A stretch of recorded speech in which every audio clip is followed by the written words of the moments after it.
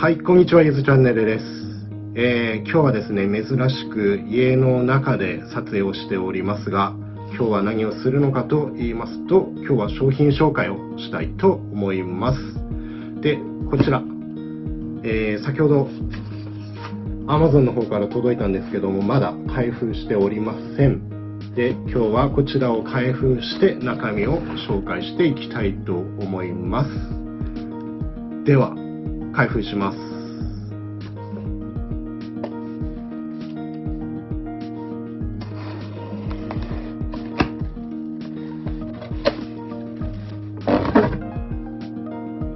はい。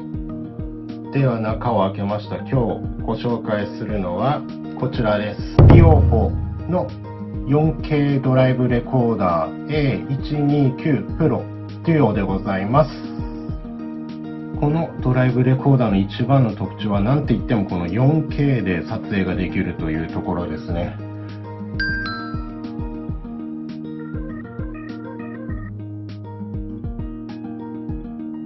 で自分は、えー、ドライブレコーダーまだ使ったことないんですけれども今回こちら 4K でどれほど綺麗な映像が撮れるのかまた僕みたいな初心者が使っても使いやすいのかそういったところを今回お伝えできたらなと思っております。では早速中を開けていきたいと思います。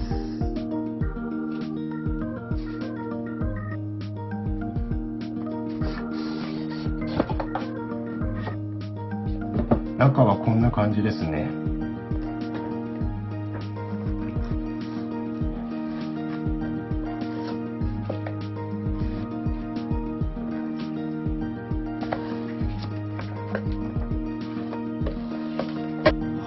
中を開けるとこんな感じでございます。では一つずつ見ていきましょう。まずこちら、これが本体、フロントにつける本体ですね。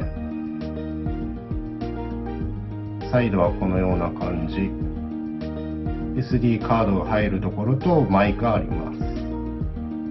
これがカメラです。これは上下に動きます。ここが粘着シートですね。このまま、えー、ガラスにつけるみたいです。で逆サイド。こちらはリアのカメラとつなぐところですね。と AV 端子と USB 端子があります。でこちら上部にも、えー、電源取る USB 端子がついております。続きましてこちらがリア用のカメラですね。これもカメラは動きます。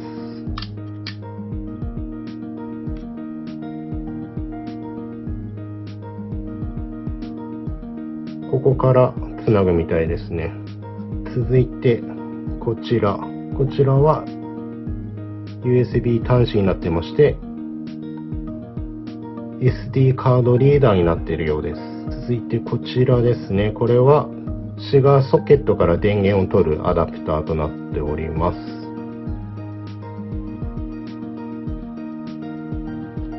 これは内張り剥がしみたいですね。車の内張りを剥がす道具だと思います。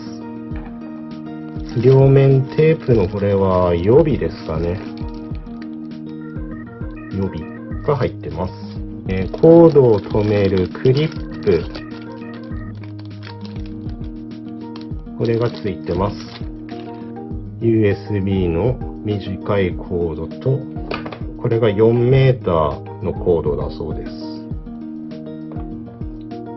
と、これがフロントカメラとリアカメラをつなぐケーブルだそうです。でこちらが保証延長カードですね。こういったものと、ユーザーマニュアル。こちらが入っております。で、こちら中身がすべて、わかりますかね？すべて英語表記になっております。日本語は書いておりません。ビオホさんのホームページの方に日本語の説明書がありまして、それを印刷してみました。はい、中身は以上でございます。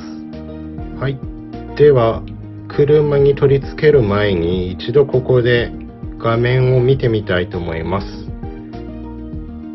では電源をまず入れてみます。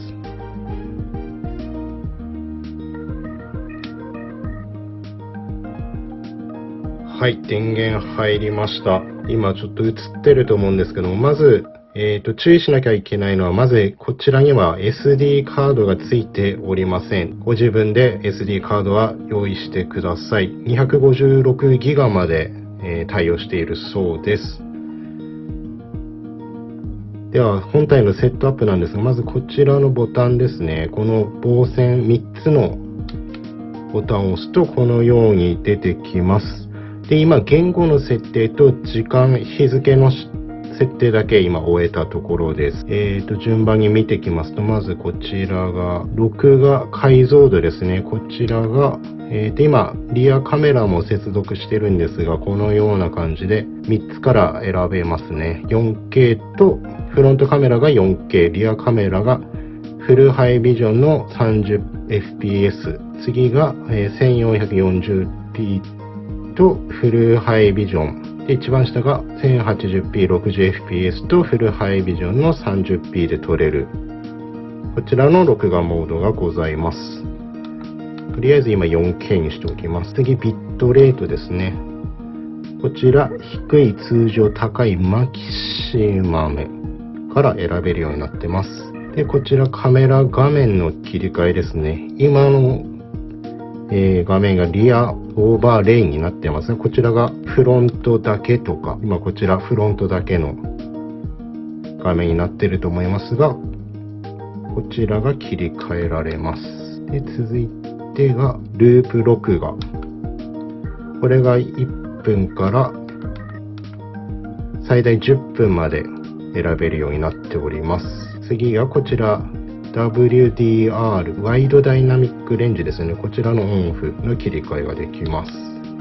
続いてこちらが露出。えー、フロントのカメラとリアのカメラ両方選ぶことができます。次、駐車モード。こちら今オフになってますが、自動イベント検出タイムラプスですね。こちらが選べるようになってます。次が駐車衝突感度、低感度、中感度、高感度で選べるようになってます。中にしとこうかな。で、続いてがこちら、駐車動体検査駐車してる時にあの、人が動いたりすると反応するやつですね。こちら低い、通常、高いと選べるようになってます。こちらがインターバル録画。えー、オフから100ミリ秒最大10分まで選ぶことができます。二動体検知、こちらオフオン。で、こちらが GPS のオンオフ。あとは速度単位ですね。こちらは、えーと、キロメートルに直してます。こちらが衝撃感度。衝撃感度ですね。ぶつかった時とかに録画するとかしないとか、こちらがオフ、低、中、高と選べるようになってます。と、こちらが Wi-Fi の設定、日付の表示設定、えー、GPS 情報スタンプ、モデル情報スタンプ、マイクのこちら、録音のオンオフ、スクリーンセーバーのオンオフ、とこちらブート遅延、この辺はいいかな。と、日付、タイムゾーンとかは今日本に設定してます。では音の鳴る鳴らない操作音ですね。鳴る鳴らない。フリッカー。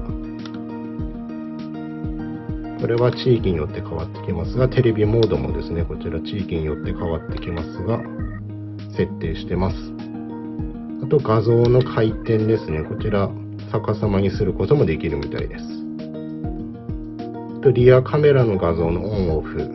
あとはこのデータフォーマットなどの設定ができるようになってます。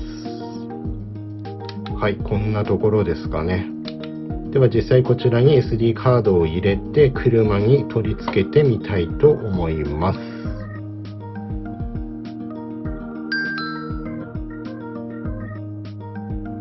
はい、ということで、えーと、車に来て今、ドライブレコーダー設置完了いたしました。ではちょっと見てみましょう。こちらですね、今こちらフロントガラス、ミラーの後ろ側に今設置し終わりました。で、大体作業にして約30分ぐらいで接続完了いたしました。で、配線はこちらがまず電源がシガーソケットからこちらでこの上を通してこの下を通ってえっ、ー、とここから引っ張ってますでえ、ー、とリアカメラとフロントカメラの接続ですがここからですね同じくこの上を通してこのずっと窓の上側を通してちょっと車汚いですけど、リアウィンドウのところに設置しております。で、えっ、ー、と、実際車を動かしますと、まず今こちら、車がアクセサリー状態ですね。レックのところのランプ光って、え、ー、と、こちら電源が入りました。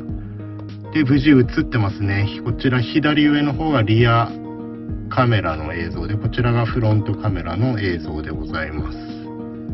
で、SD カードも今、えー、家にあるものをとりあえず入れてますので、今、録画されてる状態かと思われます。これで少し、えー、走ってみたいと思います。はい、えーと、今設置が全部終わりまして、えー、ちょっと長くなってきましたので、今回はこの設置編ということで、ここまでにしたいと思います。この後ちょっと日常で使ってみて、実際、えー、どういう映像が撮れるのか確認して、またレビュー上げたいと思います。では今日はこの辺で、バイバイ。